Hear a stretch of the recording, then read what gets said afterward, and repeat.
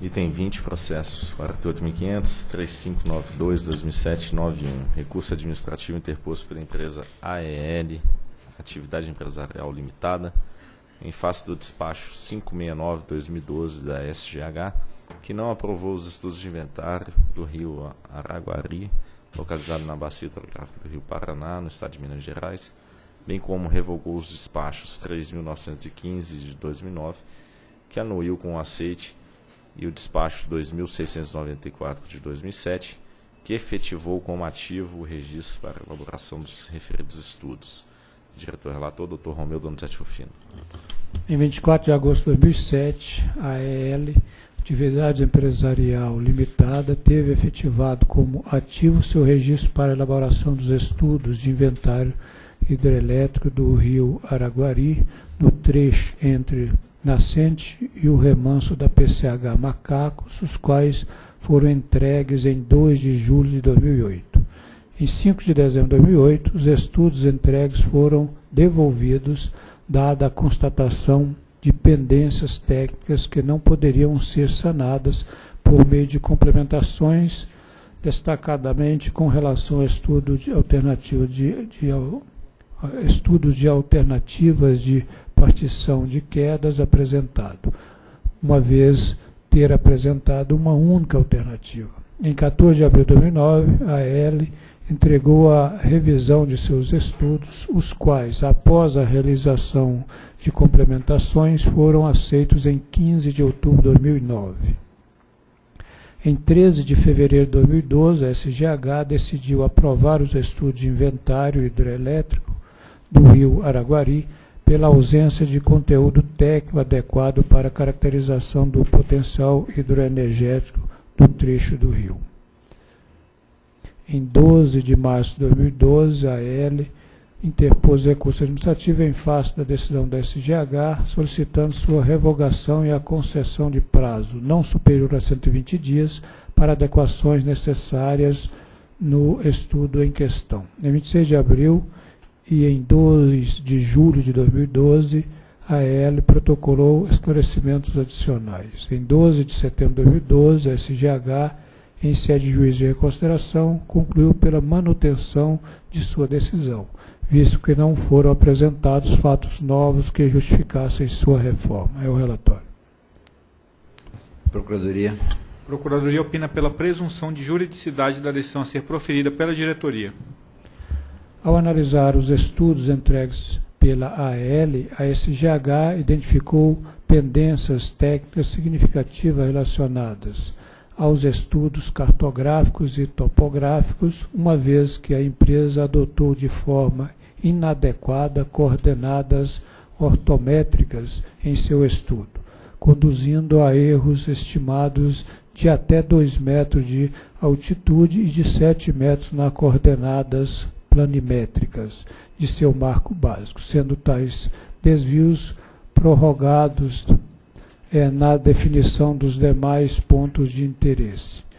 E, dois, ao estudo de alternativas de partição de queda, já que a empresa não considerou os impactos socioambientais na definição das alternativas, em desacordo com o que estabelece o Manual de Inventário Hidroelétrico elétrico das bacias hidrográficas.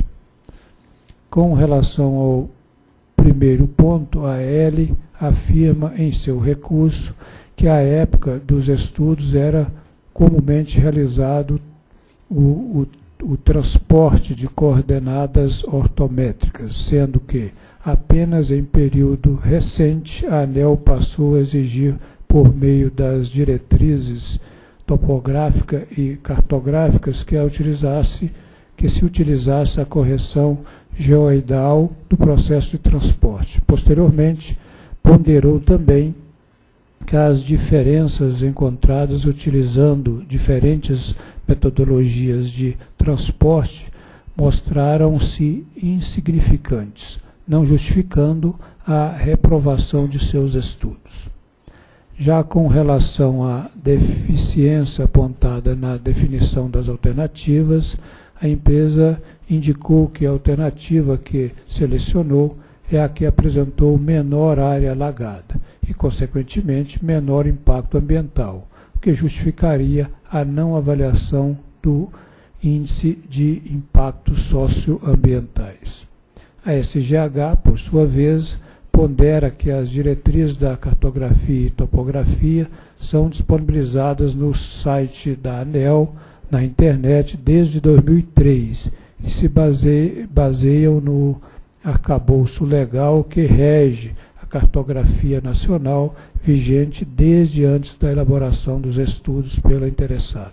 Nesse contexto, a metodologia utilizada pela empresa em seu estudo entregue não está de acordo com a boa técnica.